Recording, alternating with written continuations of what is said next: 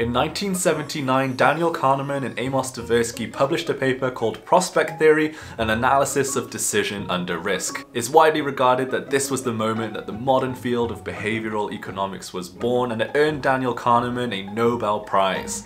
So why was this paper so important? What was contained within it that led to the birth of a whole new field of economics? Well, today I'm going to try and explain it at five different levels, and that's the first level covered off already, basic facts.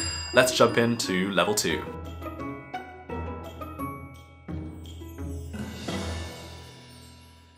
So why was prospect theory so revolutionary to economics? Well, it was really the first time that we saw reference points introduced to economic models. Let me explain what that means. Imagine you had two people, Gary and Steve. Gary has £5,000 while Steve has £15,000. They both go and make investments and after one year they end up with £10,000 each.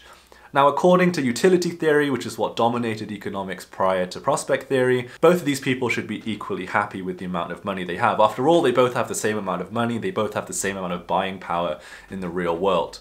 But you and I know that these two people aren't just as happy as each other. Gary is far happier that he's gained £5,000 and Steve is distraught at the fact that he lost £5,000. So that's why prospect theory was revolutionary because it accounted for these differences in its model. What Kahneman and Tversky were arguing was that the amount that people value things changes depending on what their reference point is. Somebody who's gaining money is going to be a lot happier than somebody who's losing money. But are gains and losses experienced at the same rate? Well, to explain that, let's jump into level 3. For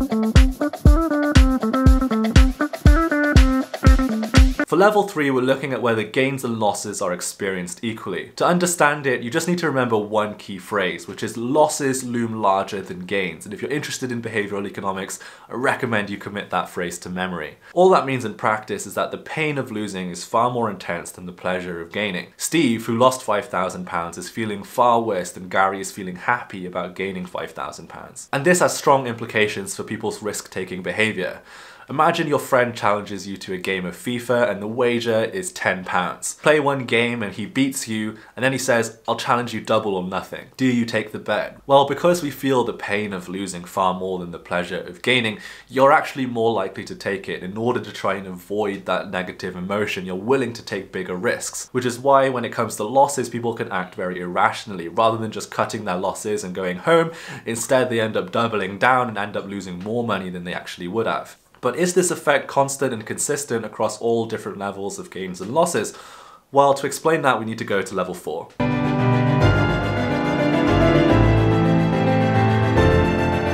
Alright, so for level 4, I need to do something which is like a cardinal sin on YouTube, so please don't click off the video, but I'm about to show you a graph, and the graph I'm going to show you is right there. Okay, so this is my graph, and as you can see I have four different labels. We go from less money to more money and awesome to sucks. Uh, these are of course the original labels that were used on the Nobel Prize winning paper. Now what this curved line represents is how you feel at different levels of gain and losses. And you'll notice that, well, it's curved and it flattens out at a certain point. What this tells you is that gaining money is only enjoyable up to a certain point and then past that your emotional response is pretty much the same. And in the same way, losing money also flattens out. Losing money sucks until a certain point and then it can't really suck any more than it already does. For example, imagine you were to win a thousand pounds. How would you feel? You probably feel pretty pretty good. But what if you were to win £100,000? Well, now you probably feel even better. But what if you were to win £101,000? How would that make you feel? Well, for some reason, winning £101,000 doesn't feel that different to just winning £100,000, even though you're a thousand pounds richer. And that's kind of what prospect theory shows us, is that as the amount of money we gain gets larger, we become less sensitive to those incremental gains, and we get to a point where winning more money doesn't really make us much happier. Now let's look at losses. Imagine you were to lose a thousand pounds. How would you feel? Probably pretty bad. But what if you were to lose a hundred thousand pounds? Well, now you feel terrible. A hundred thousand pounds is a lot of money to lose. But what if you were to lose a hundred and one thousand pounds? Would you feel much worse than losing a hundred thousand pounds? Well, again, probably not. Losing a hundred and one thousand pounds for some reason doesn't feel that different to losing a hundred thousand pounds. And again, this is what prospect theory shows us, that as the amount of money we lose gets larger, we become less sensitive to how much we're losing, and we get to a point where losing more money simply can't feel worse than it already does. So that's prospect theory at level 4.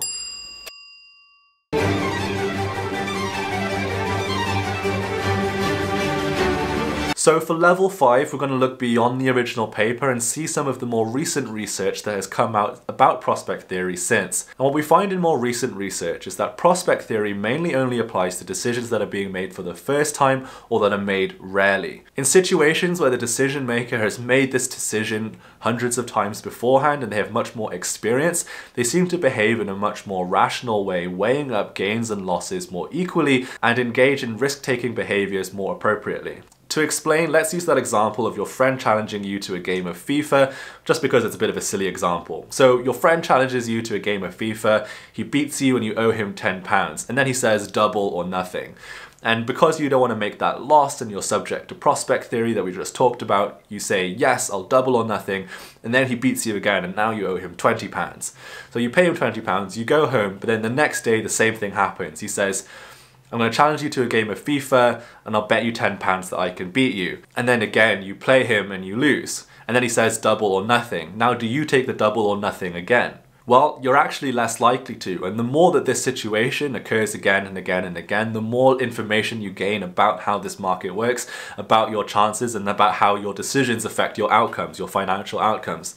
And so therefore you become a better decision maker, you have more information, you learn how the market works, and therefore you can weigh up your risk appropriately. So that's what more modern economists like Graham Loomes, who lectured me at Warwick, are finding. When people engage in a repeated market, they have more information over the decision that they make and how their decisions decisions affect their outcomes, they actually weigh up their prospects much more rationally and therefore take appropriate risk-taking behaviors. So that's prospect theory explained at five different levels. I hope you enjoyed today's video. If you did, can you please give me a thumbs up because I really appreciate it and I will see you next time. Bye-bye.